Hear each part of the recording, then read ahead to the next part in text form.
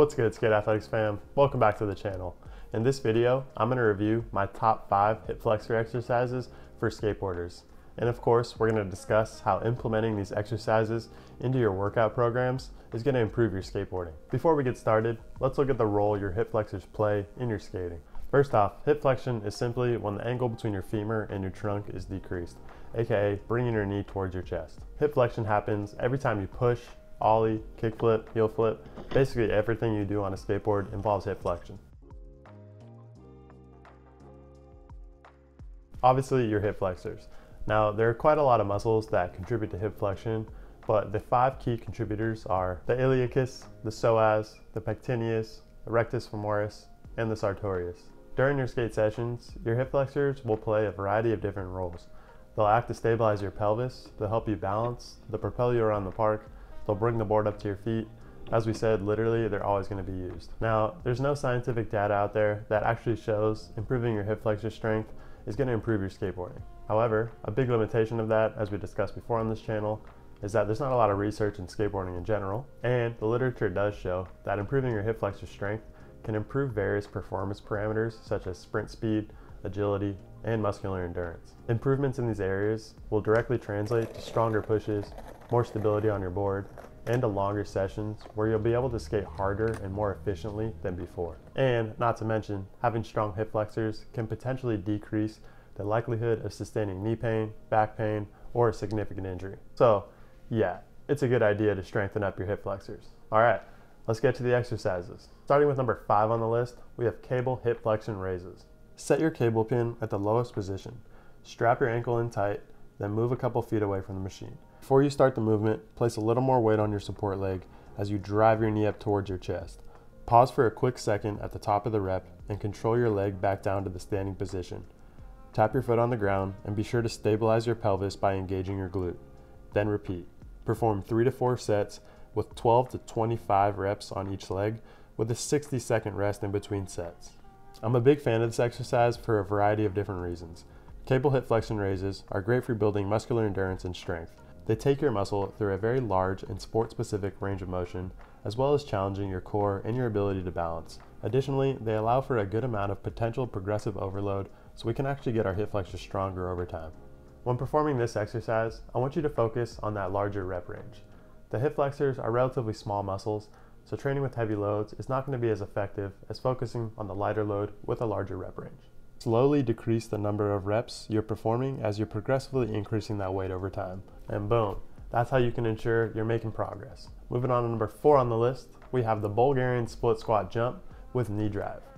Now, let me tell you, this is a pretty advanced exercise. So if you're not already comfortable with Bulgarian split squats and single leg plyometric exercises, please consider using this later on in your training program once you've already built some strength, strength endurance, and have gotten used to some plyometric exercises.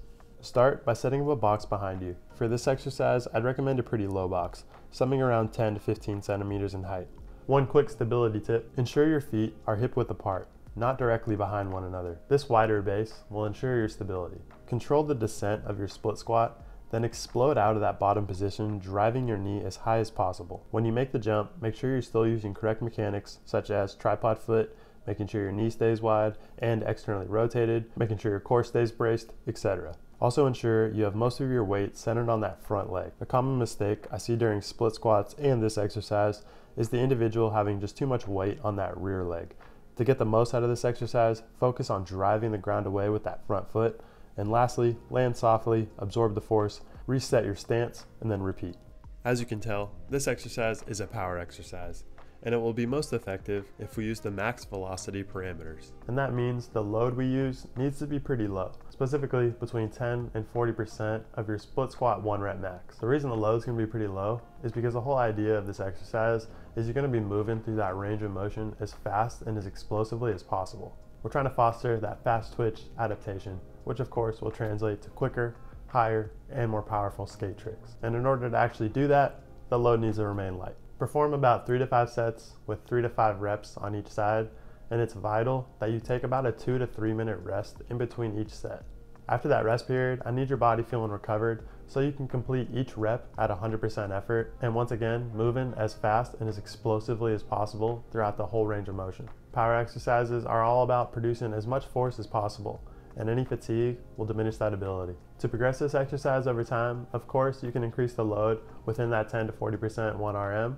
However, when you're getting started, I want you to focus on that muscle mind connection, the speed of the movement, and how high you actually jump. A quick snappy ollie is one of the most important aspects of skating, so that makes getting off of the ground as fast as possible in this exercise very key.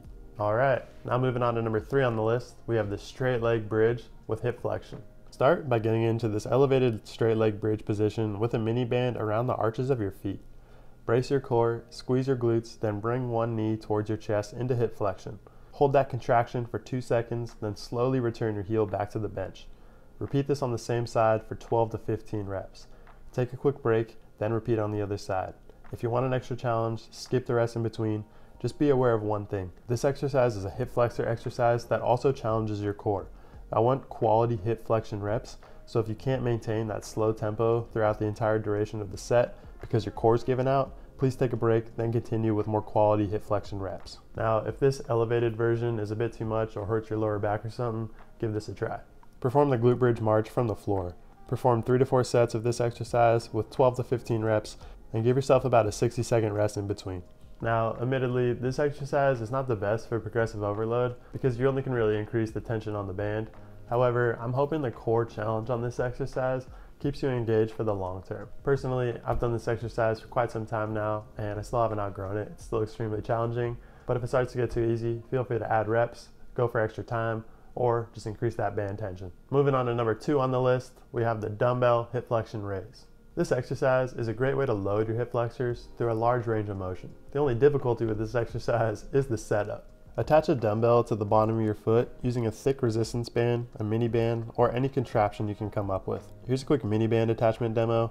The reason why I chose to highlight this option is because mini bands are awesome for skaters and you'll get a ton of use out of them at an affordable price.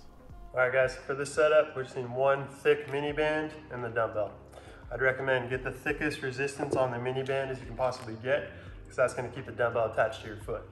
So start by throwing your foot just on top of the dumbbell and we're going to stick the mini band in the heel of your shoe just like so to get a little anchor point.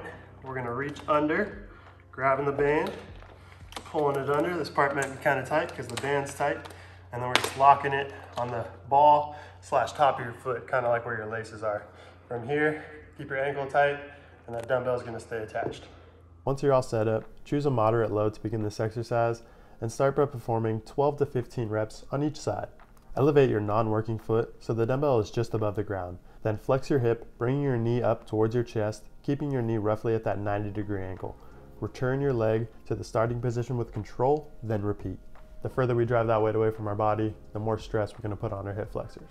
One of the main reasons why I like this exercise is the potential for progressive overload. Generally, this exercise allows you to load up your hip flexors a little more than the others because we're using dumbbells. The only limiting factor is really your setup. If you find yourself working up to higher loads, just keep one thing in mind. Once again, it's always about quality reps. Please be patient when progressing the load on this one. You may even find yourself using 10s or even 5s at the start, and that's okay. Just trust me, put in the work, and you're gonna love how you feel on the board. All right, and saving the best for last, my favorite hip flexor exercise, the banded hip flexion isometric hold.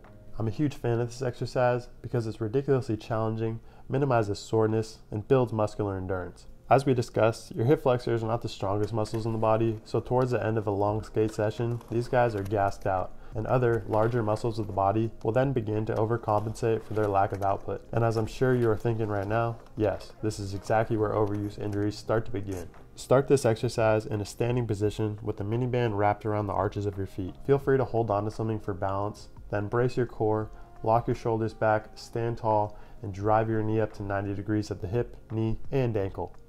As time passes by, I don't want you thinking, just hold the position. I want you actively driving your knee up towards your chest the entire time. The goal of this exercise is to build strength and endurance. The longer you hold, the better. To set a realistic goal, let's shoot for 45 seconds. Of course, your first time trying this, that might sound insane, but we're gonna build up to it. Begin with three to four sets, holding for about 15, and if you can get to 45, great. Give yourself about a 30 to 60 second rest in between, and we'll progress this exercise by increasing the tension on the band or the time you're just holding that contraction.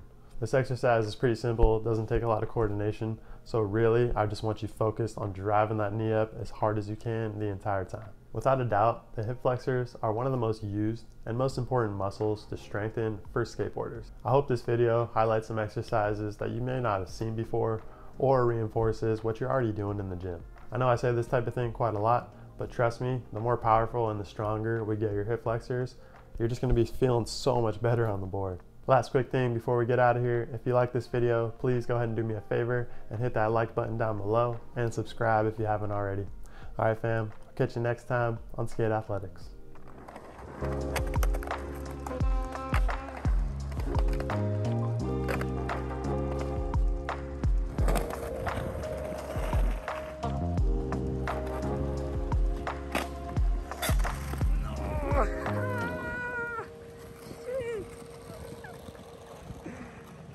Close are we?